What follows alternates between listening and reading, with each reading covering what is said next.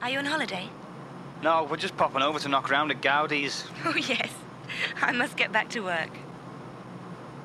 I wonder if I might have an autographed photo sent by post. What do you want people to say about you when you've gone? That I gave my all for what I believed in. That I never let the Beatles down. That I came to know myself.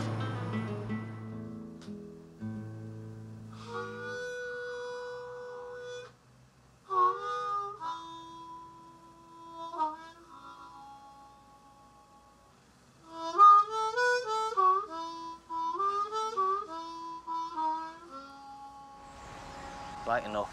This is supposed to be a holiday. I find you an engaging and remarkable man, Brian. I've never met a man like you.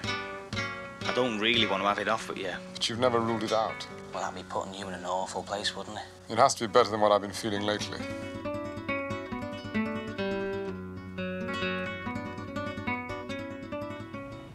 Are you angry? No. What are you thinking? Nothing I can put into words.